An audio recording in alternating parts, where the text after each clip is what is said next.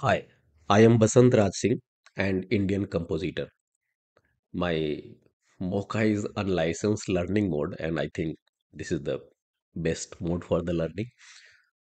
Tracking is essential part of day-to-day compositing work, and Mocha is widely accepted tracking application in visual effect industry, and it's really awesome.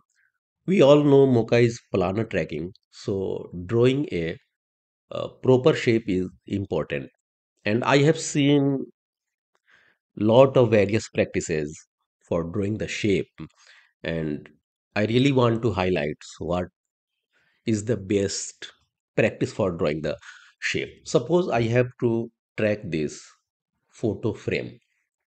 And just imagine the person is in the photo frame have some movement basics of tracking that we want to track those region which is not disturbed by the any movement if I have to track this photo frame, I am drawing this shape. So this is the reason inside of this shape will be tracked. This is very clear here. But if I want to be sure what reason will be calculated for this track. So if I go to the classic mode of the mockup and if I go here and see it's showing show layer mattes. If you click on show layer mattes now the included region will be washed out white and this white region showing that this area going to be calculated for our track but now as i said just imagine that guy in this frame has some movement and that will distract our track. So i want to exclude that. Let's write this name of full frame. And now I want to exclude this region. So this is the region. So write down this inner frame. Presently I am selecting inner frame. So it's showing the track uh, region for this layer.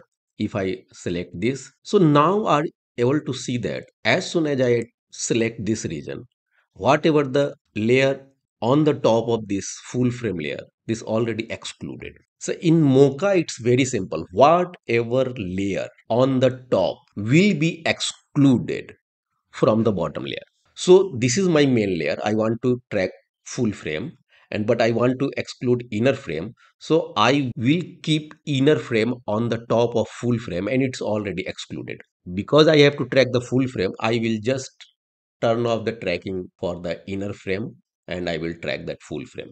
So now we are able to see that this only rim of the frame will be tracked. In Mocha behavior, if you want to exclude any reason, you have to just draw that shape and keep that layer on the top of your main tracking layer. That's fine. Now, just turn off this all my layers.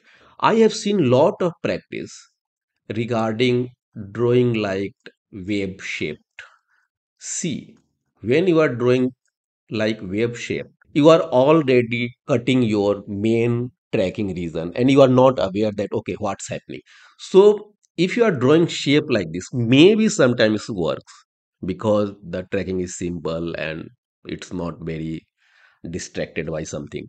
But if you pay attention, this shape is not serving any purpose, uh, not helping you. If your track matte is off, maybe now you are thinking, okay, now I grab that photo frame and now photo frame can't escape from this wave. Yeah, but that that's only the thought. Actually, you have to check that the track reason and track reason. as soon as you turn on that this layer you see the only this white area will be going to be calculated for the track so when you are drawing a shape in mocha always make informed drawing. Don't draw randomly. Whatever draw that should be your conscious choice. That should serve your purpose. And always pay attention that if you are drawing like this you are already reducing your tracking reason and maybe that will not give you that best track. So always draw shape keeping mocha behavior in the mind thank you